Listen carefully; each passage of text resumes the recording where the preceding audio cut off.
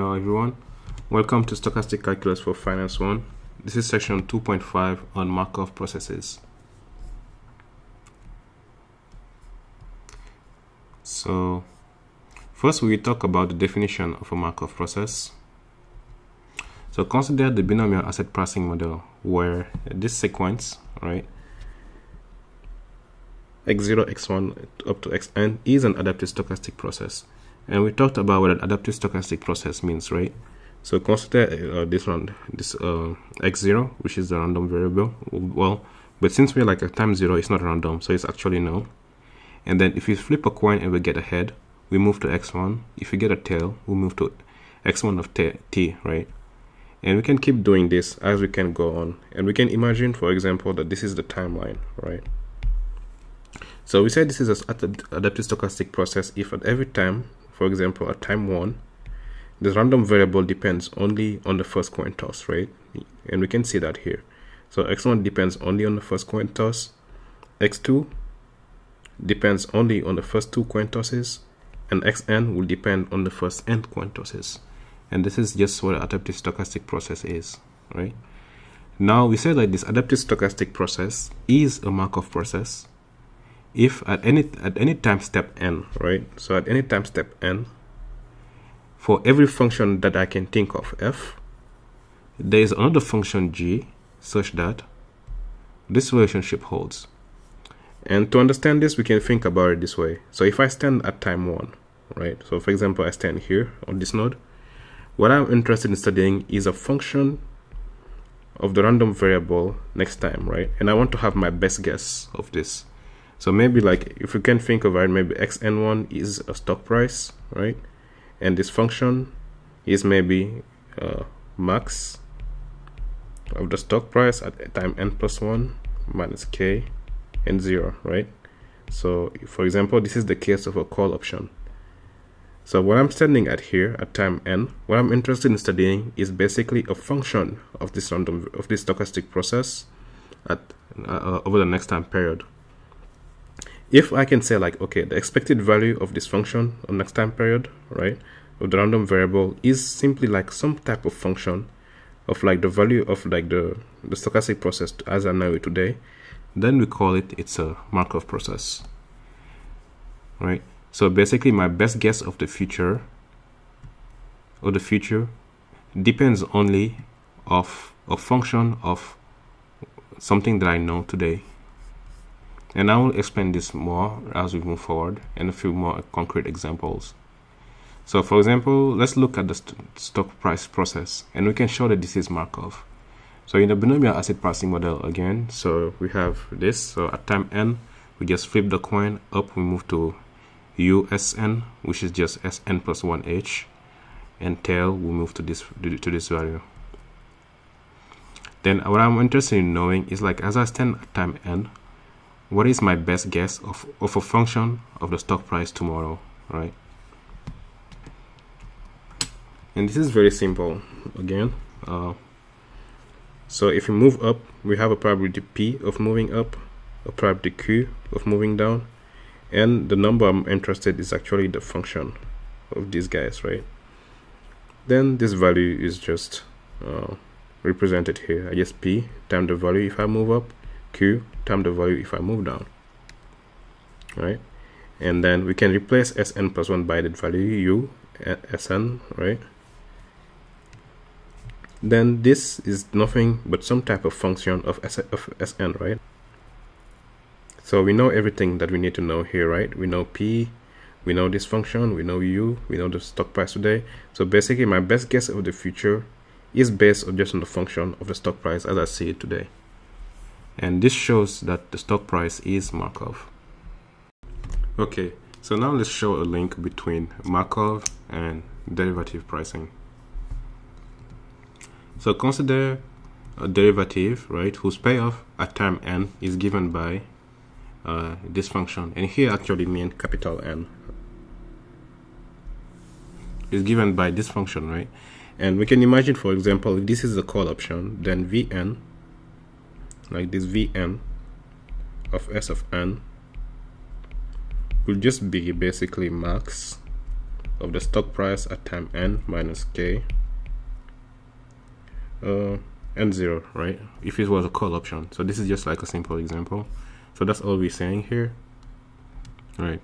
So using the risk neutral uh, pricing formula we have shown that we can rewrite it this way as well right the value of the option today or the derivative today is nothing but the discounted value of the value of the option one period from now as we're seeing it today right? And that also makes sense. So hence we have basically but we can just replace this this n here by s n minus 1 and we can have this relation here right? And then this vn then can be replaced by the the function all right? The payoff and we can do that here. And then we notice that actually the stock price is Markov right?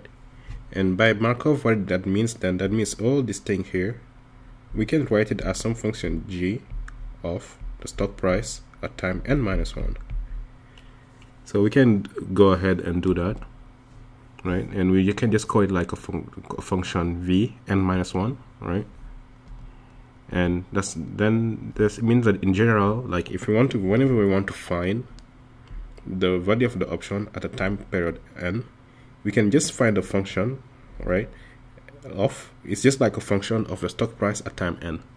And this is very interesting right? Because now that means like unlike the risk neutral pricing formula here we don't really need to keep track of all these v's. All we need to keep track of is the stock price today and some function vn. And then when we do that we just uh, feed the function the stock price today and then it will spit out the value of the option today. And this is very good and this is why people like markov processes a lot as well because it's it's, it's way more uh, efficient from the computer point of view to just store like a function instead of storing like all these huge variables right here all these vns and so finding the option and uh, the, the the function vns can, are very simple. They can basically just be found using this recursive formula right? Okay so now let's look at the max to date process. We have been so far giving example of a few markov processes but now we can show a process that is not markov. So what is this max to date process? So we can imagine we're all still working in a binomial model uh, world right and let's say these are the parameters. P going probability of going up probability of going down. A factor u factor and the stock price today. So what the max date process does is uh, it keeps track of the highest value of the stock price we have seen up to time t that we're standing at. Uh, so for example let me bring the pen here. So we're starting like uh, the stock price start at S, S0 equal to 4 right so the highest value of the stock price we have seen today is 4. So the beginning value of M0 would be 4. And then if we go up, the stock price will go to 8. If we get tail, the stock price will go to 2, right? So then we just pick the maximum value between 4, the stock price previous period, and the stock price this period is 8. So the value of M1H will be 8. And for the for the for the down case tail, the stock price previous period was 4 now is 2 so the maximum is 4 so we'll put 4 in here. And that's what we keep doing at every time period here right? We always pick put inside these boxes uh, the highest value of the stock price as have seen it so far. And that's like the max to date process of the stock. Um, and that's the process we're studying here and trying to understand if it's Markov well not that um, so if you want the expected value of the variable at time 3 then and let's assume like given that the first coin toss was a tail and the second one was a head head right? So that means like tail and then head we at this node. And you want to find the expected value uh, of this random variable at time 3 so that's pretty easy. We just need to multiply this by the value of, of probability of going on this node probability of going on this node and then we add them up and we have the expected value right? And that's all we did here. So p tilde probability of going up times the value right which is 8 here plus uh, probability of going down times the value. So so if we stand at this node then the expected value of m3 as we're seeing it here is basically 23rd right? And we can do the same thing for this node also for example right the expected value of this this of m3 then will just be basically this time p time q sum them up and that's it. But not that we cannot find a function g such that g like if I g of this of this guy will be equal to the expected value and g of this guy will be equal to the expected value as well right? And that's what we're saying here. So g of m2 given th is the same thing as g of 4 right? Because at this node m2ts is nothing but 4 if we plug in this in this function then we need we want like the function to be equal to 20 20 over 3 right? Which is just coming from the expectation here right? But then if it's for it to be Markov we need also like basically g of m2t to be equal which is also g of 4 to be now equal to instead uh, 2 third over 4 right and of course we cannot find like one function where it gets fitted like 4 and it's gonna give us two different numbers that wouldn't be a function anymore right so that's why we're saying that the process is not Markov however we can show you later on a trick where like we can recover recover the Markov property by using something called state variables. Uh, before that, we must we need some more complicated and advanced uh, definitions, and we'll go to them now. So let's define now a k-dimensional Markov process. So consider the binomial asset pricing model, and here now we have k adaptive stochastic processes. The first adaptive stochastic process is called x1 is notated x1i. The second one x2i, where i can go from 1 to n. So if I were going to visualize it, so maybe we'll look something like this. Uh, so I have my timeline here, and this is n, capital N, the end of the time period. So maybe we'll have the first stochastic process x1, uh, that will look something like this, right? And maybe the second one will look something like this, and the third one, blah blah blah, and we'll get basically k of these, right? So then we call like this, uh, all these guys k-dimensional stochastic, uh, adapted stochastic process, right? And now this k-dimensional uh, adaptive stochastic process is called like a k-Markov process if at any time step n for every function f that takes basically k uh, variables, there is another function g that takes k variables such that uh, this thing holds, right? So our best guess of the function of our uh, stochastic process, as we're seeing it at time n, is just basically a function of the stochastic processes that the value of these processes as we see them today, right? So basically my best guess of the future is nothing but a function of the stuff that I know today. And that's what the k-Markov dimensional process is. Very simple. So now let's let's look let's revisit this idea of max to date process, right? And now we consider the two-dimensional uh, stochastic adaptive stochastic process SNM, where SN is just the process of the stock price, and MN is just basically the max to date process, right? the maximum value of the stock uh, that we have encountered up to time n.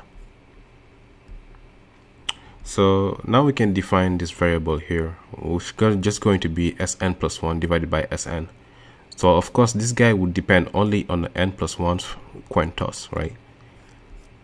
And so we have this will have to hold, right? Because if you take just y multiplied by Sn, then we just get back the Sn plus 1 and and a definition of mn plus 1 is just nothing but the maximum of like mn the maximum value of the stock as we see it today uh, at time n plus basically uh, and the value of the stock next period. And then we can just replace these functions here like sn plus 1 is nothing but sn time this y that we define? So now if we take the expected value our best guess of the future of this function of the, which is just a function of the stock price tomorrow and this mn tomorrow that is the same thing as so sn plus 1 we can replace by sn time y right as we shown here. And mn plus 1 we can replace with like this function as we shown here right? So note that now already at this point we're not seeing anywhere here n plus 1 right? Which is a good sign. So we can also then this expectation is nothing but if you if the probability of going up tossing the tossing the coin and getting ahead time sn time u right and this u is coming from this y here. Because uh, I can bring the pen and show this one very quickly.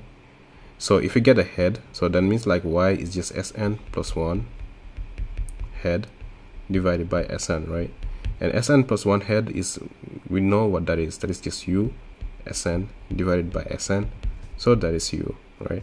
So that's why exactly this u is coming from and in the case of if it was like a tail for example then this would be d and we'll get a d. And that's what basically this d here is coming from just in case you're wondering right? And mn tab snu and same thing. So it's just this is very straightforward. So then notice that everything that's here is not is nothing but a function of sn and a function of mn so basically what we're saying here is uh, the expected the expectation of this of this function which depend of two vari variables that are in the future is nothing but just a function of those things that we know today aka is Markov. So the process that we shown here uh, Sn plus Mn uh, and Mn together is is Markov